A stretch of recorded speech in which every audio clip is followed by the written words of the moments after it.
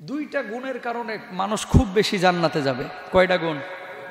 আপনি মারা গেলেন, এখন জান্নাতে যাওয়ার দরকার আছে না নাই? জান্নাত চান না সবাই? চান। দুইটা গুণের কথা আল্লাহ রসুল সাল্লাহ আলী আসাল্লাম বলেছেন যে এই দুইটা গুণের কারণে মানুষ খুব বেশি জান্নাতে যাবে। মানে এই দুইটা গুণের কারণে মানুষ আল্লাহ সুবাহানুভাতালার জান্নাতে যাবে। খুব এক্সক্লুসিভ একটা বিষয়। আপনার মনোযোগ দিয়ে শুনেন। দেখেন, কিছু মানুষ কিছু কাজ করে, কাজ করার পরে জাহান্নামে যায়। আবার কিছু মানুষ কিছু কাজ করে, যে কাজ করার পরে সে জান্নাতে যায়। জান্নাত এবং জাহান্নাম পুরোটাই কিন্তু আপনার উপরে ডিপেন্ডেন্ট আপনার উপরে ডিপেন্ডেবল খেয়াল করেন, আপনি যদি ভালো কাজ করেন, জান্নাত। আপনি যদি খারাপ কাজ করেন, আপনার জন্য জাহান্নাম। সলিহাত। আল্লাহ তালা বলেছেন, যারা সৎ কাজ করে, তাদের জন্য জান্নাত। তারা ক্ষতির মধ্যে নেই। এখন কথা হচ্ছে, প্রত্যেকটা মানুষ চাইলেই কিন্তু জান্নাতে যাইতে পারে, যদি সে জান্নাতের কাজ করে। খেয়াল করেন প্রত্যেকটা মানুষ চাইলেই কিন্তু জান্নাতে যেতে পারে। কিন্তু মানুষ জান্নাতে যাওয়ার জন্য চেষ্টা কমই করে। মানুষ বাঁচার চেষ্টা করে মৃত্যু থেকে, কিন্তু মৃত্যু থেকে মানুষ বাঁচতে পারে না। জান্নাতে যাইতে পারে, জাহান্নাম থেকে বাঁচতে পারে। জাহান্নাম থেকে বাঁচার চেষ্টা করে না। চেষ্টা করে মৃত্যু থেকে বাঁচার, মৃত্যু থেকে বাঁচতে পারে না। কিন্তু জাহান্নাম থেকে বাঁচার চেষ্টা করলে বাঁচতে পারতো। মানুষ চেষ্টা করে মৃত্যু থেকে বাঁচার, জাহান্নাম থেকে বাঁচার না। যদিও করে অনেকে সীমিত। আপনি জাহান্নাম থেকে বাঁচতে চাইলে পারবেন না? কথা বলে না। আরে কেমনে বাঁচবেন? পাপ ছেড়ে দেন তাহলেই তো আপনি জাহান্নামে যাবেন না। হারাম ছেড়ে দেন তাহলেই তো আপনি জাহান্নামে যাবেন না। বেঁচে গেলেন না? কিন্তু আপনি যত বড় আল্লাহর ওলি হন নবী হন কুতুব হন পীর হন গাউস হন মৃত্যু থেকে কেউ বাঁচতে পারবে? মৃত্যু থেকে কেউ বাঁচতে পারবে না। কিন্তু জাহান্নাম থেকে চাইলে সবাই বাঁচতে পারে। কিন্তু মানুষ জাহান্নাম থেকে বাঁচার চেষ্টা কম করে। বেশি চেষ্টা করে মৃত্যু থেকে বাঁচার। মৃত্যু থেকে কেউ বাঁচতে পারে না। আল্লাহ রসুল সাল্লাহ আলহিহাসাল্লামের একটি হাদিস, আবু হুরাই রাদি আল্লাহ তালানহু তিনি বলছেন, আল্লাহ রসুল সাল্লাহ আলহিহাসাল্লামকে জিজ্ঞেস করা হলো, কোন কাজটা করলে সবচেয়ে বেশি পরিমাণ মানুষ জান্নাতে যাবে সেই কাজের কারণে? ইয়া রাসুল আল্লাহ একটু আপনি বলবেন? আল্লাহ নবী বিশ্বনবী সাল্লাহ আলাইসাল্লাম তখন বললেন, দুইটা কাজ, কয়টা? এক নাম্বার হচ্ছে তাকুয়া অবলম্বন করা তাকুয়া ভিত্তিক জীবন যাপন করা। যদি কেউ করে, আল্লাহ রব্বুল আলমিন তারা জান্নাত দিবেন। দুই নাম্বার হচ্ছে উত্তম চরিত্রের অধিকারী হওয়া। উত্তম চরিত্রের মালিক হওয়া উত্তম চরিত্র, মহান চরিত্র। এই চরিত্রিক, চারিত্রিক গুণাবলী নিজের ভিতরে নিয়ে আসা, সেই অনুপাতে কাজ করা। এই দুইটা চরিত্রিক, চারিত্রিক গুণাবলী যার মধ্যে থাকবে, আল্লাহ রব্বুল আলমিন তারে জান্নাত দিয়ে দিবেন বরং সুবহান আল্লাহ সাহেবরা জিজ্ঞেস করলেন, ইয়া রাসূলুল্লাহ, মা মানা তাকওয়া, তাকওয়াটা কি?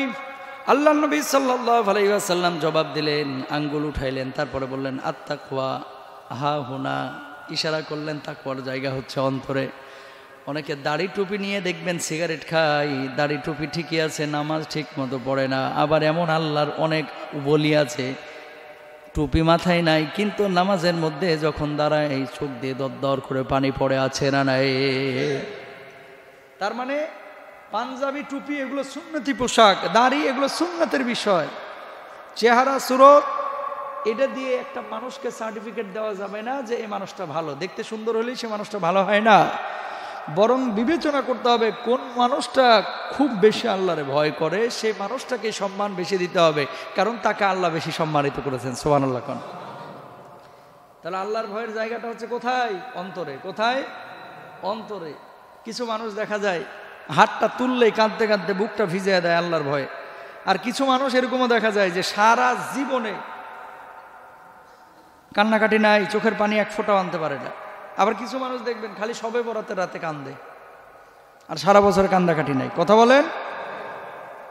তাহলে আল্লাহর ভয়টা অন্তরে, যার ভিতরে আল্লাহর ভয় বেশি আছে, ওই ব্যক্তি এই ভয়ের কারণে আল্লাহর জান্নাতে বেশি যাবে। বলুন সুভান আল্লাহ কয় নাম্বার গুণ?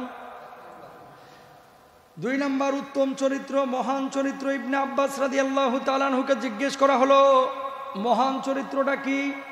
খুলুকুন আজিম এই মহান চরিত্রটা কি? তিনি জবাব দিলেন, এটা হচ্ছে মহৎ দিন। মহৎ কি? দিন মানে ইসলাম। যে যত বেশি ইসলামকে ফলো করবে, ইসলামের বিধিবিধানগুলোকে মেনে চলবে, সে তত বেশি জান্নাতে যাবে। বলুন সোহান আল্লাহ আহা, মানুষ বুঝে না এগুলা। রসুল আকরম সাল্লাহ আলহিহাসাল্লামের গোটা চারিত্রিক যেই বিষয়গুলো ছিল, এই অনুসরণ করে এগুলোকে মানা শূন্য অনুযায়ী জীবনযাপন করা। আলী রাদি আল্লাহ তালানহু তিনি বলছেন, মহান চরিত্র হচ্ছে কোরআনে বর্ণিত আদব, শিষ্টাচার। মানে কোরআন যা বলেছে, আপনারা তা করতে হবে। কোরআন যা বলেছে, আপনাকে তা মেনে নিতে হবে। কিন্তু খেয়াল করেন, আমরা অনেক বিষয় আছে যেগুলো কোরআনে আমার পছন্দ হয়, সেগুলো আমি মানি। যেগুলো আমার স্বার্থের বিপক্ষে চলে যায়, সেগুলো আমরা মানতে চাই। কোরআন বলছে নামাজ পড়তে আপনি নামাজে এসেছেন, কোরআন বলছে জুমা পড়তে আপনি জুমায় আসলেন, কোরআন বলছে সুদরে লাথি মার, আপনি সুদের মায়া ছাড়তে পারলেন না। কথা কন। কোরআন বলল, মোহরানা দিয়ে বোয়ানো যৌতুক নিও না, আমরা শুরু করলাম যৌতুক নেওয়া, মোহরানা না দেওয়া। কোরআন বলল, ব্যবসা বাণিজ্য করো, হারাম খায়ও না, আমরা ব্যবসা বাণিজ্য ছেড়ে দালালি করা, ধান্দাবাজি করা শুরু করে দিলাম, অনেকে আছে না নাই? মানে কোরআন যেটা বলছে, সেটা যদি আপনি করেন, গোটা কোরআনের বিধিবিধানগুলোকে যদি আপনি বাস্তবায়িত করেন, চারিত্রিক মাধুর্যতা যদি কোরআনের চরিত্রের সাথে আপনার মিলে যায়, এই চরিত্রের কারণে আল্লাহর জান্নাতে আপনি বিনা হিসাবে যাবেন। সোহান আল্লাহ বলেন।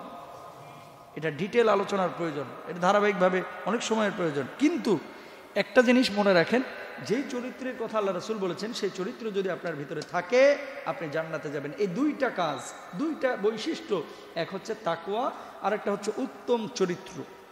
যদি আপনার ভিতরে থাকে, এই দুইটা চরিত্র আপনাকে খুব বেশি জান্নাতে নেবে। সুহার আল্লাহ বলেন।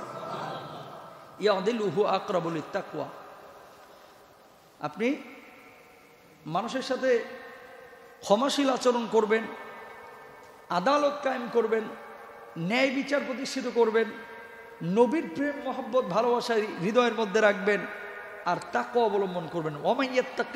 আল্লাহু মখরাজা। যদি আল্লাহকে আপনি ভয় করেন, আল্লাহ তালা আপনার জন্য নানান পথ উন্মুক্ত করে দেবেন। সোমান আল্লাহ কন। সুতরাং জান্নাতে যাইতে চান কি চান না? আরও জোরে বলেন, চান কি চান না?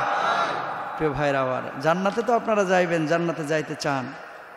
আবার অনেকে এখন দেখতেছি যে নিজে বড় বড় সিদ্ধান্তও নিয়ে নিচ্ছে। মানুষ যে পাপগুলো করে, এই পাপগুলো কেন করে জানেন? এই যে নিজেকে নিজে গুলি করে দেয় অনেকে, তারপরে নিজের জীবনটাকে নিজে ধ্বংস করে ফেলছে, নিজের সন্তানকে নিজে হত্যা করে ফেলছে। একটু আগে দেখলাম এই যে জমায় আসার আগে, ফেসবুকে কোন এলাকায় যেন নিউজটা ভালোভাবে পড়ি নাই। মা নামাজ পড়তেছে, কি করতেছে? নামাজ পড়তেছে, পেছন থেকে সন্তান কোপ দিয়ে মার গলা থেকে মাথাটাকে আলাদা করে ফেলছে। আল্লাহ আকবর। নওয়াজবিল্লা বলেন আরও জোরে বলেন নওয়াজবিল্লা আহা, সন্তান মারে হত্যা করছে।